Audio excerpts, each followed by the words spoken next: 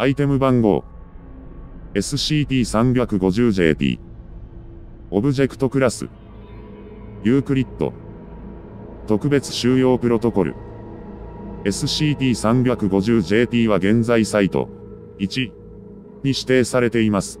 SCP-350JP の周囲半径200メートルは工業用の3メートルのフェンスで囲まれており、職員はフェンスに損壊がないか毎日確認してください。カバーストーリー、滑り落ち事故の多発により民間人が侵入しないよう、フェンスに取り付けられた監視カメラと、人の職員で24時間対応してください。また、事件350を踏まえて、SCP-350JP の出入り口には機動部隊制に、滑らかな現実が常に待機し、異様な人型オブジェクトが SCP-350JP 内で目撃された場合、直ちに沈静化してください。フェンスを乗り越えて侵入した民間人は捕獲し、尋問の後、疑いがなければクラス A の記憶処理を施して季節に解放してください。SCP-350JP で実験を行うときには、レベル3以上の職員3名の許可を得てください。概要 SCP-350JP は日本の、県東部の、山の中腹に存在する異常なトンネルです。山で行方不明になる民間人が相次ぎ、奇妙なトンネル、の噂が流れ始め、調査に当たったエージェント、により発見されました。SCP-350JP は直径4メートルほどのトンネルで、全長はおよそ100メートルあります。口述の SCP-350JP、1、2、3に接触しない限り、このトンネルは通常通り通り抜けることが可能です。SCP-350JP のトンネル内部は、粗いポリゴンのようだと報告される。赤土と石らしきもので構成されています。例えば、直方体を貼り付けたような段差。赤土や石の極端な色分け。極端に整った球体の形をした石ころ複数がトンネル内部で見受けられます。これらは異様なほど硬く、破壊、採取することができません。石ころを模したと考えられる物体は手に取ることができますが、SCP-350JP の外部に持ち出す試みは即座の消滅により失敗しています。SCP-350JP。1、2、3は、トンネル内部で発見される、隙間、です。隙間。は壁面の屈折部分で見られます。それぞれ SCP-350JP のトンネルの、東の出入り口から、メートル、メートル、メートルに位置しています。隙間の長さは多少異なりますが、おおむね1メートルほどです。その幅は3センチメートル程度しかありません。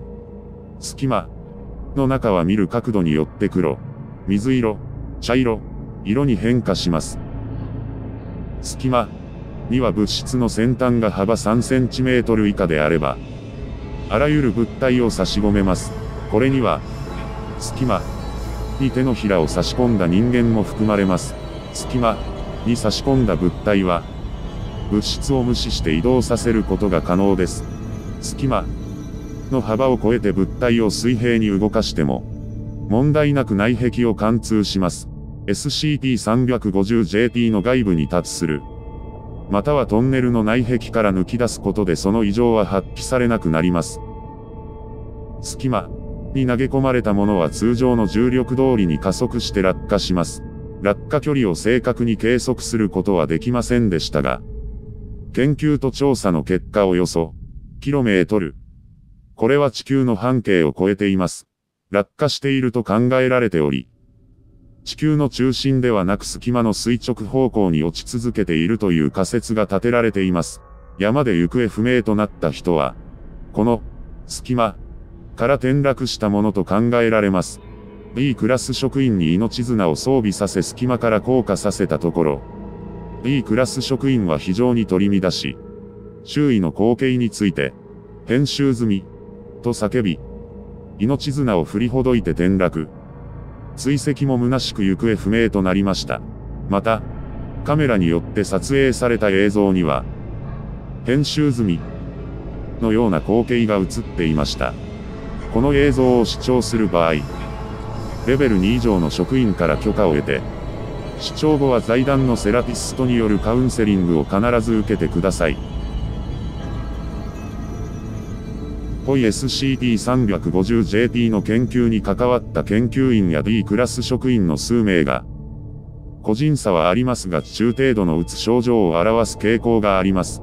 この症状は SCP-350JP の影響ではなく、長期観察や接触によるごく自然な反応だと結論付けられています。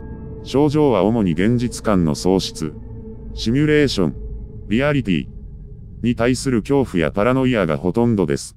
長期の研究は控え、うつ症状の発見された研究員は必ず報告し、財団施設内の病院で療養してください。事件35020年月最初の行方不明者が現れてからおよそ1年後です。トンネル内で人型のオブジェクト以下 SCP-350JP A が現れるという事件が発生しました。SCP-350JP A は全身が白く、頭部は球体でできており、その他の部位、腕や足など、波直方体で構成されてました。SCP-350JP A には顔が存在しないにもかかわらず発生し、歪みを正せ、と機械的な声で叫び、その場にいた研究員や B クラス職員に攻撃を仕掛けました。攻撃を受けた人員は即座に SCP-350JP、A、1、2、3と化し、SCP-350JP、A と同様の姿をとって職員に攻撃を開始しました。これら SCP-350JP、A、1、3は SCP-350JP の範囲を超えても消滅せず、行動していたことに注意してください。幸いにも別の任務から期間中の機動部隊により、これらオブジェクトは頭部に銃撃受け、即座に消滅しました。この事件以降、特別収容プロトコルが見直されました。これって、隙間から転落した人の慣れの果てか、まさか、事件、350より以前にこの CG みたいなオブジェクトが現れたり、してないよな。エージェント、エージェント、事件、350以前に SCP-350JP、A のようなオブジェクトが現れていたら、SCP-350JP 周辺の人々はネズミ山式に SCP-350JP、1、N に変身し、AK クラス世界終焉シナリオによる世界崩壊につながっていたと考えられます。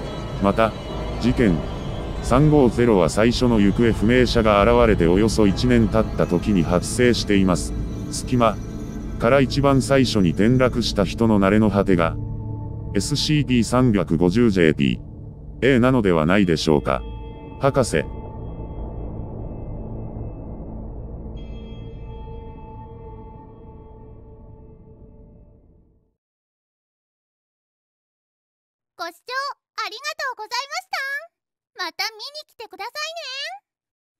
チャンネル登録またはお気に入り登録をお願いしますですん。ですんですん。